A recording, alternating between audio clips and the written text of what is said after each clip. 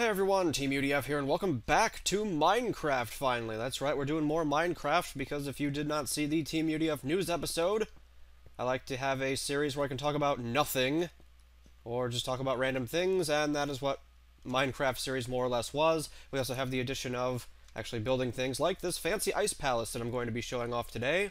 This is in a private multiplayer server. For now, I will probably be in this multiplayer server, so I already have things, obviously, like this handy jetpack that Evan gifted me. I did make a whole bunch of other stuff myself, though. Alright, so we've got some new items because we're playing Feed the Beast. Uh, this is a Scepter of Twilight that I won off killing a... Oh crap, a Twilight Lich in the Twilight Forest. So we have uh, Twilight Forest here. There's just a whole bunch of mods in this Feed the Beast thing, and it's really fun. Uh, so we're going to I don't know, I guess we'll spend these first couple videos kind of showing off some things in the server. I might explain a couple things that I want to build in the future, and then we will just continue with the series being random discussion. King Slime, uh-oh. Wait a minute, what? What's that all about? Where is this coming from? Am I getting trolled by the oven? Oh, wait, ow, wait, wait, did something spawn in here? Did a boss spawn? Holy crap, a boss spawned! Well, we're gonna take out this boss and see what we can get then. I... okay. My, uh, my Sky Island is kind of built on a slime thingamajig. So, wow. Dang, dude, look at all that XP! I'll explain what that chest is in a bit. Holy crap, we got, we got an amazing boss spawn. Okay, cool. I want. What's this? King Slime Battle Sign. Okay. Do we get a... Is it anything? I guess it... Oops. Hit the wrong button. Okay, we got some slime. We got a miniature yellow heart, uh, which restores 20 hearts. You notice we obviously don't have 20 hearts, we can kind of increase our max health in these mods. Know, these were things I was looking at earlier. I don't think I'll be able to build them, though, so we'll just go ahead and erase that. Alright, you also notice I'm not wearing armor, mainly because I'm lazy. I'll probably construct some iron armor at some point. But hey, we already killed a boss, and we're just starting off in the mod. So anyway, this is the Scepter of Twilight that I won off beating a Twilight Lich. This is my, uh, alch alchemical bag. It's basically a bag of holding, which this is also a bag of holding. Basically just extra storage, but I have some hidden goodies inside these bags, so we won't look at them on camera now. I guess I apparently have a King Slime battle sign now. We have the Ice Magus Rod, Magus Rod, I don't know how you want to pronounce it. shoots fire, uh, shoots fireballs, yeah, that, that's what they totally are. It shoots snowballs, and is powered by me having snow in my inventory. We'll figure out how to restore that a little easier later on. Let's go ahead and zoom out into third person. Also, we have hats. I'm currently wearing the Blame the Community hat because that just seems very appropriate. Here's my Cloak of Distortion from uh, Xeno's uh, Rel Reliquary. Eh. If I turn it on, I'm invisible. You can see my armor. If I turn it off, here I am. It also has one other nifty ability that I'm not going to waste because it costs an Ender Pearl each time I use it. Basically, if I crouch and click somewhere, I can actually teleport straight to that location. If you're familiar with the Rod of Discord from Terraria, that's basically what we're using here. And this is one of my favorite items in the whole game, the Emperor's Chalice. It is an endless bucket of water, unless I drink from it, in which case it will trade a small part of my health for a significantly uh, larger portion of my hunger, so I can basically uh, utilize water to not need food, which is good because the food system really has kind of annoyed me over the past couple. So anyway, okay. Here is my ice palace that I built. I wanted to kind of start building some Legend of Zelda-esque dungeons. Uh, maybe some adventure dungeons. I don't know if I'll release any of them to actually be played, but that was the idea here. Uh, I don't know if they'll be played outside of the server, rather. So yes, this is the first thing I built was the Ice Palace. It's also my home. Okay, there's currently no intended way to get up here, so... So far, you, we just pretend that you get up here at some point. And, I don't know, the, the intended start would be, like, somewhere over here, maybe. Probably have you come up this way and start over here, so let's begin the tour from this location. First of all, a room that you would not be able to access playing is my room itself, because it is powered by this lovely, lovely lever. Of course, my crafting table, you can see the slimes that are in there. I have my furnace. Uh, this chest doesn't really have anything in it. I don't think this one does either. Just mainly some mining materials and whatever. Okay, this is an ender chest. This is a pretty interesting uh, deal here. We have a whole bunch of things in here. What's actually going on is there are a whole bunch of these ender chests throughout the server. Uh, basically, everyone has one at their house. And if I wanted to, like, give Moosh this, uh, this slime item, I could put I could put it in the chest, and then Moosh would be able to open an identical ender chest and take the slime out of it and put it in his inventory. So we can more or less use it as a transportation system. I actually think that's pretty cool. Of course, we have our bed, so my spawn is in here. So I just kind of leave my door open as I leave, or I can I can really like trick it out here. I can I can smash the lever here if I want and leave and be on my merry way. But I don't know. I guess we'll leave it open. Nah, I'll show you the trick. Why not? Basically guarantees that I have to either get to the end or die to get back. So there we go. We are now locked out of our own room. Fantastic. Something to note is that uh, there are no... There's no mob griefing in this particular server. So yes, um, the creepers won't be blowing crap up. Alright, so anyway, continuing on in the Ice Palace, we come up here. Uh, I have this little small area down here for you to fight the slimes. So if you climb on down, you can give the slimes a battle. I guess we'll, we'll see if we can fight them with the ice rod. They can climb the ladder. They're pretty they're pretty uh, funny, but the, the the bigger the bigger ones usually get stuck, so they're not really going to come up to get me. Uh, this room is more or less a trap room. You can't really accomplish anything. You can kill the slimes and get some stuff, but that's about it. Uh, then I have a treasure chest over here, which I don't know what I would have in it uh, if I'm thinking about this as a Zelda dungeon. Maybe just some prizes or whatever.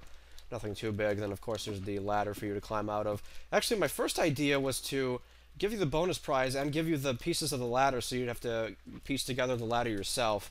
That way you can't escape until you've killed all the slimes, but I don't know, it's kind of neat. Also, this ice, uh, you'll notice the mod name is called Chisel on my little overhead thing there. Uh, this is a very great mod. I could basically use this chisel item, which we will do so. Uh, let's see, if I use the chisel and I put this ice block here, look at all the different designs I can use, dude. And look, one's even called the Ice Zelda block. So I really love this mod. This is a great mod. I can just take it out too. I can even, uh, so like the one I'm using is the sunken ice tiles. I can even revert it to looking back like regular ice. I don't think every, um, every kind of block you can revert back though. But yeah, that's pretty cool. It allowed me to build this awesome looking palace. Alright.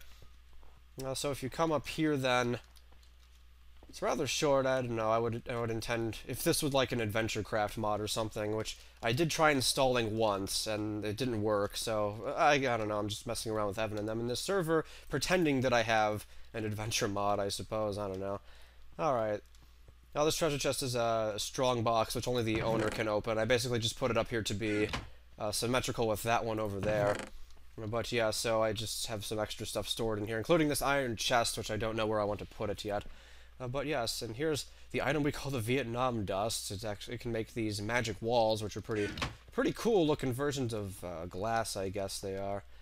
Copper chest here is what I would intend to be like the the big key or the boss key if you're familiar with Zelda. So you get you can get the big key pretty early by just kind of jumping up here, and I don't know if I would have a battle up here or what, but yes. But then you might think, well, geez, there's nowhere else to really go. It looks like there's a hole inside, though. Well, there is. If I come over here, if I look really carefully, I can kind of see there is a handle over here. This is a carpenter's door. What happens is I can actually use a special hammer item to make these doors completely blend in with the block design that I want. So in this particular case, I gave it an ice block design of the same type. So it's a little harder to tell that the door is here. Alright, so now we're inside the Ice Palace itself. Fantastic. First we will traverse down here in the Ice Palace. I guess in these areas I would intend to have like some enemies you fight or something, I don't know. And here we come over to the main to the main uh, operation here. This is where I keep my current machinery. Uh, first of all, Evan gave me a, a, Tesseract to help me power this thing. I'm basically mooching off of Evan's power source, but I think it works out quite well uh, because he's creating too much power anyway, so I might as well help him out with using it. Here's an energetic infuser, which I'm going to use to refill my jetpack fuel. This is actually pretty cool. I can also hold it down to see, hey look, it's actually charging up, and we can just leave it alone. Uh, this has a chunk loader. I don't know if I don't know if I should even be explaining these things. If you're watching a Feed the Beast mod, you probably know what most of these things do, but it's all relatively new to me, so if it's new to someone else on the channel, there we go. This chunk loader will basically keep this chunk loaded at all times, so if I have these machines running and doing something, even if I go away and nobody's logged onto the server, this chunk will be loaded and working constantly. Uh, so, for example, my jetpack would be uh, finished off, even if I'm offline or whatever. And now we're good to go. See on the top left, we've got 100% energy left. This chest has a whole bunch of ice and snow in it. It is coming from this glacial precipitator from the thermal expansion mod we're using, as well as this aqueous accumulator. Uh, what I have it set to now is to create four snowballs. So I will turn my lever on. It will start slowly draining water. However, I have an infinite water supply, so this won't run out. And every time uh, it finishes this process, it will create four snowballs. However, I have the machine set up to input them into this chest, so if we just stay here for a while, look, I can look at the snowballs. More of them should appear soon. There they are. And if I put them in my inventory, you notice they disappear. That's because my ice rod is going to gobble them up immediately. And I can use them to recharge the item. So I basically have a pseudo infinite supply of snowballs from my ice rod here. It's quite nice. Alright, I can leave that running for a while if I want. It's just another crafting table because I got too lazy. I didn't I wanted to uh, I used to just go all the way around and back into my room to craft things, and then I got annoyed with that, so here's my lazy solution, is just a new crafting table in this particular room. I took my job, yeah, okay. Here's an anvil, which doesn't work the way I thought it did, so it's pretty much just going to sit here now. Seems a little silly the way I have to repair items, but oh well. Okay, we will finish filling up our ice rod. Take a few extra snowballs with us, and we'll shut the machine off for now, just so I don't come back to horribleness. But yes. Okay. So that's just kind of a small tour of the downstairs area. And then you would actually come up here to continue onward. I was bad and did not close the door. Oh, the door's closed and now it's open. I really like this area. It's just kind of an overhang bridge area of the slimes from earlier. That's kind of nice. Come through this narrow corridor. Have a wooden door we can open. Get a small view of the outside. Get a small view of the machine area. And that's looking like that's about it. Oh, wait a minute. Oh, hidden door. Oh, man. This one blends in perfectly. You can't even tell it's a, a carpenter's door unless you, like, look up and happen to see that it says carpenter's door, but yeah. Okay. So now we come to this door. I guess I don't know if I would want this to be, like, the big key area or uh, some kind of key card check or something, but yeah, anyway. Alright. So it doesn't look like there's anything here, but you can kind of see the light down there, so there's actually something here. Oh, I didn't remember that was there. Anyway, we can pop out of the water here. Now we're actually under the island. Under the island, and I love this part. So we start walking around and stuff. And drop down eventually. I tried to make sure you couldn't, like, fall through that easily at this particular part. There are some navigational parts you'll have to do later on, but... Yeah, you can kind of see there's a whole bunch of random kind of ice blocks lying around, so it might look a little suspicious, and there's a path leading this way. Oh, this would be the, the big key door, that's right. Because I slightly designed this door differently. I don't have the hammer in my inventory, actually, do I? No, the hammer's elsewhere. Okay. Well, that's fine. So you would use the key, come through here, and make it to the next part of the dungeon. Possibly. Hello? Door? Oh, the server's rubber banding. Okay, that's okay. Alright. So now that we're in here, look, you can kind of see that we're, we're really under the island. You can see the landmarks down there and everything. Now we can drop safely. I had to put this ice stairs in, otherwise you would actually take damage on this fall. It's a little too far. And I don't know if I actually want to wait until morning to do this next part. I might just do that. Let me wait until morning to come back so you can see the true beauty of this upcoming zone. Alright, we're back. And we've got some more hunger to boot. Okay, so it's daytime now. You can see this area a bit better. The problem is I can't really light it because it's made of ice, so my ice would all melt. So I don't know. We've been looking for a, a, light source that doesn't melt. We're still not sure if one exists at this current point. Maybe we will by the time I upload it, but yeah. Anyway, this is the unfinished part of the dungeon now, but I'm going to mostly try and explain what I want to go on down here. Okay, so this will be a small room that actually kind of It'll it should go further into the dungeon later on, like I'll have more rooms down there and everything. But for now, we can walk over this way to my favorite part of the dungeon. Now, the reason why this is my favorite part of the dungeon is because notice if I kind of move back and forth, you can see more water revealed and stuff, but ice is transparent. You can see through the ice clearly. For some reason, you can't see water through ice. So when you come out to this area, you're actually greeted to a whole bunch of uh, waterfalls that you might not have known were there. In fact, if we come up here, we reach the Ice Sanctuary. My little kind of private alcove here below this island uh, that I really can't wait to... I can't wait to decide what I want to put down here because this is going to be a fun-looking area whenever I can finish it outright. So this is my little ice sanctuary hidden inside. The whole island is surrounded by this water, so if you're outside the island, you can't even tell it's there. Look, it doesn't look like there's anything here at all. But as soon as you go inside, then you can see the ice sanctuary. So yeah, I really love this idea. And it really makes me wish that I could, like, uh, program 3D games or something, because this, I think this would be a blast uh, of an area to have designed for a game or something. But yeah, so this is the ice sanctuary. Uh, one thing you can do when you're up here is you can come up to these stairs. Uh, I may put an item up here, or something like a small treasure chest. However, it's a it's a bait and switch because you're meant to actually see that there are platforms down there. So I could actually take this waterfall and write it a bit down, and we end up on these platforms here, and suddenly you have like this this other bridge that's just in between all this water, and there would be a secret uh, treasure chest here with like maybe a key or something in it. So you would have to kind of do a bit of exploring to finish everything. And then I don't know what I would want to do for this hint. Maybe like a sign that... Uh oh Okay. Maybe like a sign that points to the right or something. Because you could climb back up through the waterfall, or you could come to the right here, and actually, again, you can't see ice through water and vice versa. So you wouldn't know this is here, maybe, if you walked through the... if you didn't walk through the water. So there's actually a path going back here. But it's a little hard to navigate because of the water pushing and pulling you in the different directions.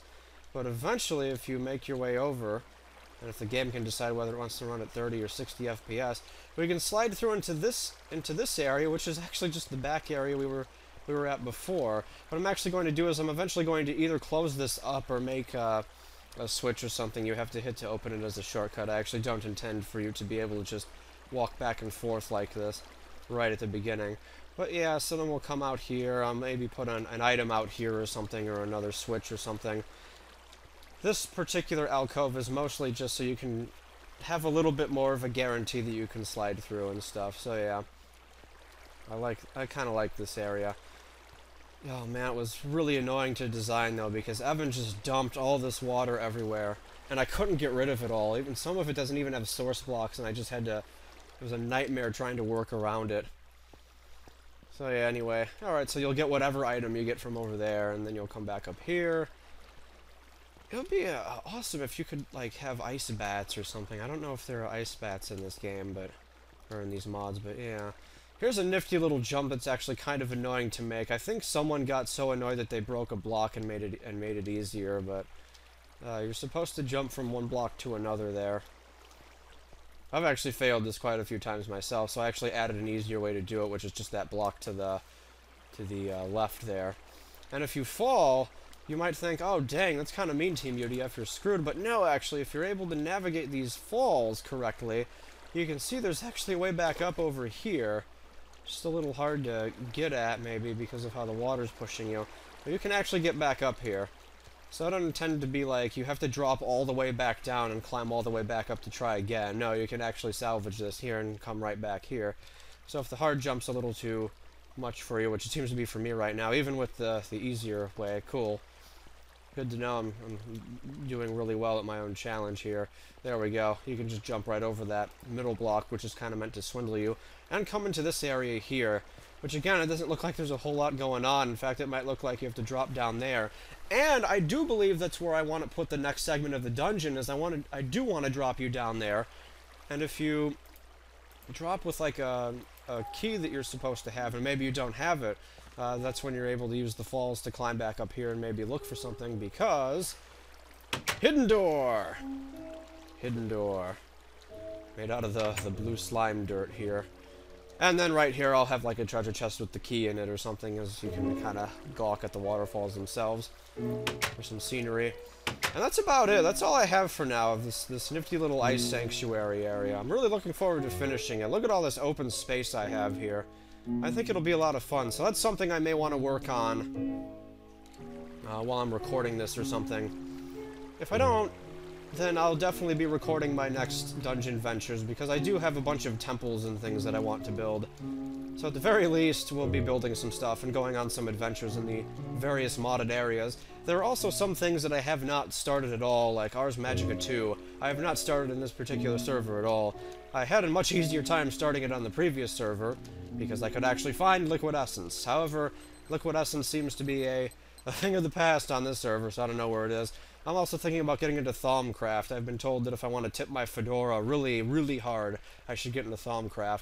So there's a whole bunch of different things to go on here.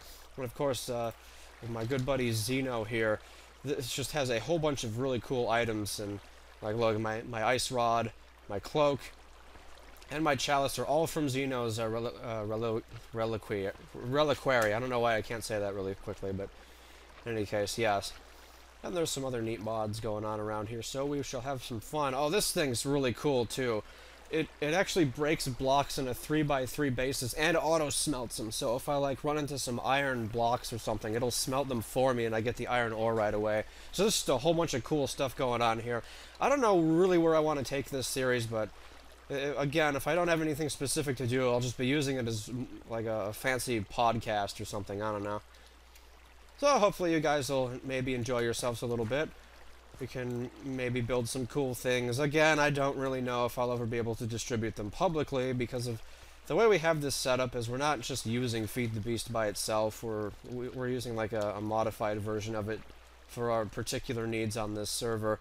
So I really don't know. I've got no clue if I can even, you know, if this is all just a giant waste of time that, I've, that I'm even building in this server in the first place. I guess we've lost servers in the past, so it would be a huge, a huge disappointment if we lost this server and I didn't have my Ice Sanctuary anymore. But yes. Alright, so that's about it. I've already gone over time. Uh, welcome to the new series, I guess, of Minecraft. We'll actually maybe do some Minecraft next time. How about that? But I did want to just show off some things.